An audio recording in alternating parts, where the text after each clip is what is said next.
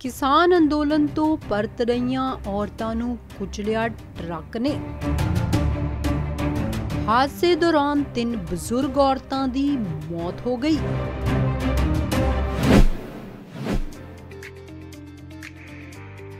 ਪੰਜਾਬ ਸਰਕਾਰ ਵੱਲੋਂ ਮੇਰਾ ਘਰ, ਮੇਰਾ ਨਾਮ ਸਕੀਮ ਤਹਿਤ ਲਾਲ ਲਕੀਰ ਅਧੀਨ ਆਉਂਦੇ ਘਰਾਂ 'ਚ ਰਹਿੰਦੇ ਲੋਕਾਂ ਨੂੰ ਮਾਲਕੀ ਹੱਕ ਦੇਣ ਦਾ ਫੈਸਲਾ ਕੀਤਾ ਗਿਆ ਹੈ। ਸੋ ਅਸੀਂ ਇਹ ਫੈਸਲਾ ਅੱਜ ਕੀਤਾ ਹੈ ਕਿ ਪਿੰਡਾਂ ਤੇ ਸ਼ਹਿਰਾਂ ਦੇ ਲਾਲ ਲਾਈਨ ਦੇ ਅੰਦਰ, ਲਾਲ ਡੋਰੇ ਦੇ ਅੰਦਰ ਜਿੰਨੇ ਘਰ ਹੈ, ਪੁਰਾਣੀ ਆਬਾਦੀ ਹੈ ਜਿਹੜੀ ਪਿੰਡ ਦੀ, ਉਹ ਜਿਹੜਾ ਜਿੱਥੇ ਬੈਠਾ ਹੈ, ਉਹਦੇ ਨਾਮ ਕਰਾਂਗੇ ਜਿਹੜਾ ਤੱਕ ਹੀ ਸੀਮਤ ਸੀ।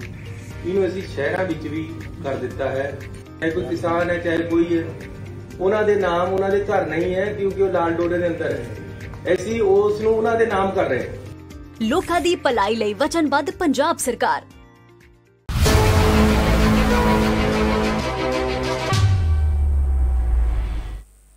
ਕਿਸਾਨ ਅੰਦੋਲਨ ਤੋਂ ਪਰਤ ਰਹੀਆਂ ਔਰਤਾਂ ਨੂੰ ਕੁਚਲਿਆ ਟਰੱਕ ਨੇ। ਹਾਦਸੇ ਦੌਰਾਨ ਤਿੰਨ ਬਜ਼ੁਰਗ ਔਰਤਾਂ ਦੀ ਮੌਤ ਹੋ ਗਈ। ਹਰਿਆਣਾ ਦੇ ਜ਼ਿਲ੍ਹੇ 'ਚ ਅੰਦੋਲਨਕਾਰੀ ਮਹਿਲਾ ਕਿਸਾਨਾਂ ਨੂੰ ਟਰੱਕ ਨਾਲ ਦਰੜਨ ਵਾਲੇ ਡਰਾਈਵਰ ਦੀ ਗ੍ਰਿਫਤਾਰੀ ਹੋ ਗਈ ਹੈ। ਇਸ ਹਾਦਸੇ 'ਚ ਤਿੰਨ ਬਜ਼ੁਰਗ ਔਰਤਾਂ ਦੀ ਮੌਤ ਹੋ ਗਈ ਸੀ, ਜਦਕਿ ਤਿੰਨ ਦੀ ਹਾਲਤ ਨਾਜ਼ੁਕ ਬਣੀ ਹੋਈ ਹੈ। ਇਹ ਹਾਦਸਾ ਬਹਾਦਰਗੜ੍ਹ ਬਾਈਪਾਸ ਫਲਾਈਓਵਰ ਦੇ ਹੇਠਾਂ ਚੱਜਰ ਰੋਡ ਤੇ ਵਾਪਰਿਆ ਸੀ। ਇਹ ਮਹਿਲਾਵਾਂ ਘਰ ਜਾਣ ਲਈ ਆਟੋ ਦੀ ਉਡੀਕ ਕਰ ਰਹੀਆਂ ਸੀ। ਇਹ ਸਾਰੀਆਂ ਮਹਿਲਾਵਾਂ ਕਿਸਾਨ ਅੰਦੋਲਨ 'ਚ ਸ਼ਾਮਿਲ ਸੀ ਤੇ ਪੰਜਾਬ ਦੇ ਮਾਨਸਾ ਜ਼ਿਲ੍ਹੇ ਨਾਲ ਸੰਬੰਧਿਤ ਸੀ। ਤੇਜ਼ ਰਫ਼ਤਾਰ ਟਿੱਪਰ ਮਿੱਟੀ ਨਾਲ ਭਰਿਆ ਹੋਇਆ ਸੀ। ਡਰਾਈਵਰ ਮੌਕੇ ਤੋਂ ਫਰਾਰ ਹੋ ਗਿਆ ਸੀ। ਅੰਦੋਲਨਕਾਰੀ ਮਹਿਲਾ ਕਿਸਾਨ ਰੋਟੇਸ਼ਨ ਤਹਿਤ ਘਰ ਵਾਪਸ ਜਾ ਰਹੀਆਂ ਸੀ। ਪੁਲਿਸ ਨੇ ਜਾਂਚ ਸ਼ੁਰੂ ਕਰ ਦਿੱਤੀ ਹੈ। ਦੂਜੇ ਪਾਸੇ ਕਿਸਾਨ ਮ੍ਰਿਤਕ ਮਹਿਲਾਵਾਂ ਦਾ ਪੋਸਟਮਾਰਟਮ ਨਹੀਂ ਕਰਵਾਉਣ ਦੀ ਗੱਲ ਕਰ ਰਹੇ ਨੇ। ਕਿਸਾਨਾਂ ਨੇ ਇਸ ਹਾਦਸੇ ਪਿੱਛੇ ਕਿਸੇ ਦੀ ਸਾਜ਼ਿਸ਼ ਦਾ ਸ਼ੱਕ ਜਤਾਇਆ ਪੰਜਾਬ ਦੇ ਮੁੱਖ ਮੰਤਰੀ ਚਰਨਜੀਤ ਸਿੰਘ ਚੰਨੀ ਵੱਲੋਂ ਟਿਕਰੀ ਬਾਰਡਰ ਤੇ ਵਾਪਰੀ ਇਸ ਘਟਨਾ ਤੇ ਦੁੱਖ ਦਾ ਪ੍ਰਗਟਾਵਾ ਕੀਤਾ ਗਿਆ।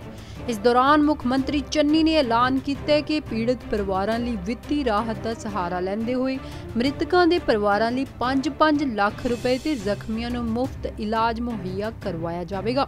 ਦੱਸ ਦਈਏ ਕਿ ਦਿੱਲੀ ਦੇ ਕਿਸਾਨ ਅੰਦੋਲਨ ਤੋਂ ਘਰ ਨੂੰ ਵਾਪਸ ਪਰਤਣ ਲਈ ਆਟੋ ਰਿਕਸ਼ਾ ਦੀ ਉਡੀਕ ਕਰ ਰਹੀਆਂ ਸੀ। ਇਹ ਔਰਤਾਂ ਜਿਨ੍ਹਾਂ ਨੂੰ ਇੱਕ ਤੇਜ਼ ਰਫ਼ਤਾਰ ਟਰੱਕ ਨੇ ਆਪਣੀ ਲਪੇਟ 'ਚ ਲੈ ਲਿਆ।